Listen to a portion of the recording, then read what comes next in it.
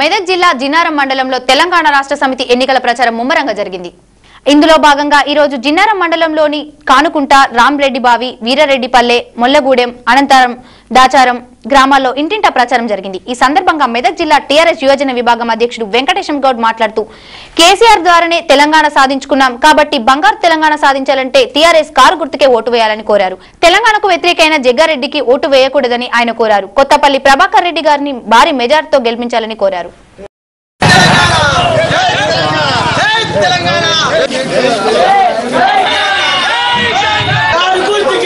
జరిగింది. ఈ ఆమ్లెట్ గ్రామాలైనటువంటి మరి మొల్లగూడెము రామరెడ్డిబాయి వీరేడిపల్లి కూడా ప్రచారం చేయడం జరిగింది. మరి తెలంగాణ రాష్ట్రంలో మరి తెలంగాణ పునర్నిర్మాణంలో భాగంగా మరి ఈరోజు ఏక మొత్తంగా మెదక్ పార్లమెంట్ నియోజకవర్గంలో ఉన్నటువంటి ప్రజలందరూ కూడా మరి తెరాస అభ్య మెదక్ పార్లమెంటు బై ఎలక్షన్ సందర్భంగా మరి కాన్కుట గ్రామం రామరెడ్డిబాయి వీరారెడ్డిపల్లి ముల్లగూడెం మరి అనంతారం దాసారం ఇవన్నీ కూడా మరి తిరగడం జరుగుతూ ఉంది. మరి ఎక్కడ పోయినా ఎవరింటికి పోయి ఓట్లు అడిగినా మేము ఖచ్చితంగా తెలంగాణకి వేస్తాం.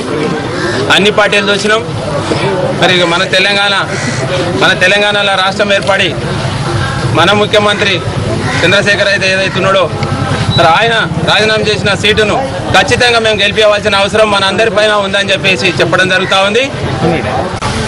ప్రజాక్షేత్రంలో తెలంగాణ బంగారు తెలంగాణ మార్చుకోవాల్సిన అవసరం ప్రతి తెలంగాణ